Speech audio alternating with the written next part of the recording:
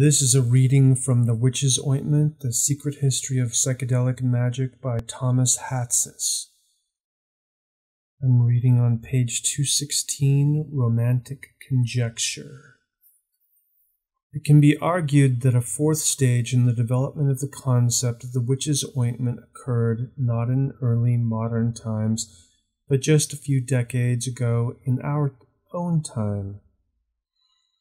This is the romantic view in its most extreme form. It holds that women and men smeared brooms with hallucinogenic ointments that were then inserted into the vagina or rectum to induce trance, thereby carrying on a ritual that existed since antiquity. While certain aspects of this theory have a historical foundation, i.e., anointing one's vagina with a hallucinogenic drug to induce trance, quote, fly, quote, transform, or experience some other kind of psyche magic, the overall idea that people rubbed drugs on broom handles and masturbated with them appears nowhere in the early modern period records. Not a single word of this manner of introducing the ointments into the body, i.e., via some kind of broomstick dildo, was recorded until 1973 with the author Michael Harrison's The Roots of Witchcraft. Harrison offers speculation but zero evidence for this claim. Anthropologist Michael Harner repeats this faux pas in his essay the role of hallucinogenic plants in European witchcraft, dated that same year. I contend that until the early 17th century, the use of these ointments for some kind of spirit flight was fairly unknown by the larger European population, some learned magicians notwithstanding, who might have been in contact with everyday magic but certainly didn't understand the deeper art of arts of veneficia, which is the art of poison. They, of course, used these ointments and po- po- they, of course, used these potions and ointments vended to them by women like Marauchi in at least four ways. Recreationally, as love philters, mercenarily, as a way to bewitch a pesky neighbor or abusive spouse, passionately, to enchant an unrequited lover, or medically, as a cure for everything from insomnia to indigestion. These veneficia venefice sold their love philters to their clients while using similar drug mixtures on themselves, but with the addition of incantations and thus a different mindset thereby stimulating a different, perhaps visionary experience. When early modern period ecclesiastics started to pay attention to localized forms of drug inspired magical experiences, they looked to ancient literature and saw love potions containing the remains of dead children in Horace's Epodes and Pamphile's transformation ointment in Apuleius's Metamorphoses, that is, the Golden Ass.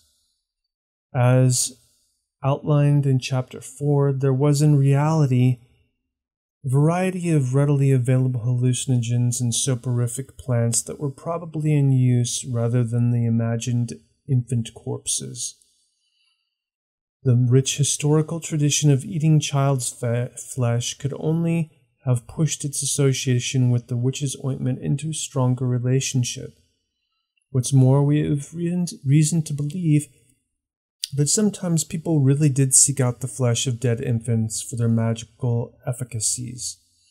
And yet, our earliest and best accounts of these ointments, from the time immediately prior to the formulation of the witch stereotype, i.e., Johannes Nider, Alonso Tostado's, Genesis Commentary, and Abraham of Worms, make no such heinous connection.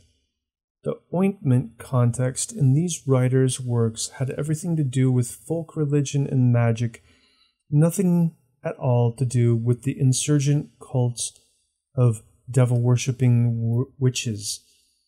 Even Bernardino of Siena, who preached against the practice of infanticide for magical purposes in his sermons, did not associate Finicella's cat transformation ointment with child murder, a point he would not have hesitated, hesitated to make if he truly believed it.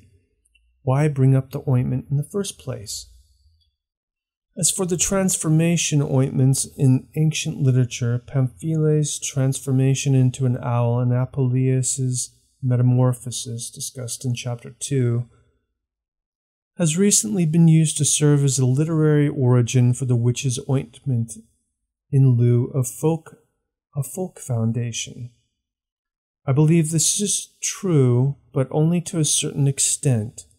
The early modern period flying ointments weren't the product of ancient fiction, although ancient fiction certainly directed the ecclesiastic's interpretation of them. A drug potion, powder, or ointment that allowed a person to shapeshift into an insect or animal might have been might have reminded a literary cleric of Pamphile's transformation that doesn't mean that the ointments and their use for psyche-magical experiences didn't exist. Guillaume Bautista della Porta, who knowingly dosed his mates with a drug so as to watch them shapeshift, makes no mention of Apuleius's comedy after all. As demonstrated in chapter 4, Solanaceae family plants, those are like nightshade, have a seemingly timeless association with magic, witchcraft, and medicine.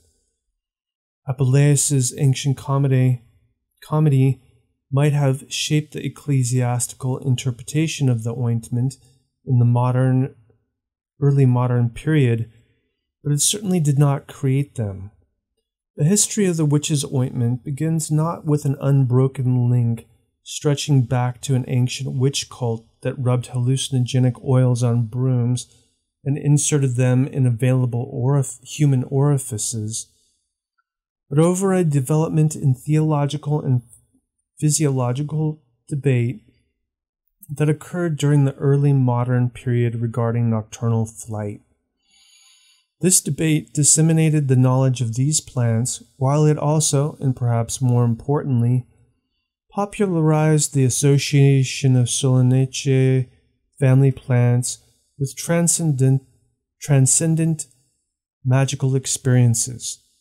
This then entered the historical record in earnest around the late 16th century.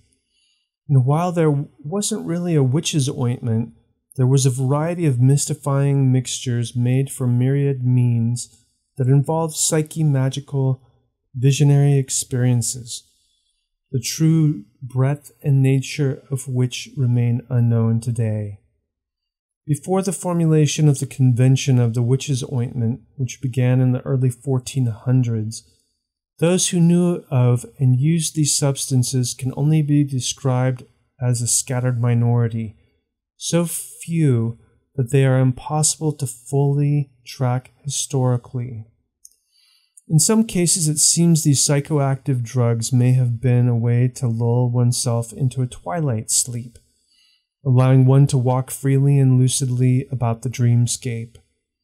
Within the larger theological debate, the otherworldly state of mind caused by the ointments, that state beyond the veil, served as a way for the so called witches to fly to the devil, quote, in spirit, unquote, instead of corporally corporally. So while skeptics like Norman Cohn and Richard Kieckhefer are correct that the witch's ointment is the product of learned demonologists, they are wrong in asserting that psychimagical drug ointments didn't exist and weren't used for a variety of purposes, whether for visionary journeys or recreational escapes. Equally incorrect is the romantic notion that flying to meet and worship a horned god presents an unbroken link to ancient rites that were experienced as a result of masturbating with hallucinogenic ointment covered brooms from which we get our modern notion of witches riding them. All evidence suggests that while some women might have inserted these drug ointments into their vaginas, it was not done so by way of a broomstick applicator, but more likely the fingers or a pessary.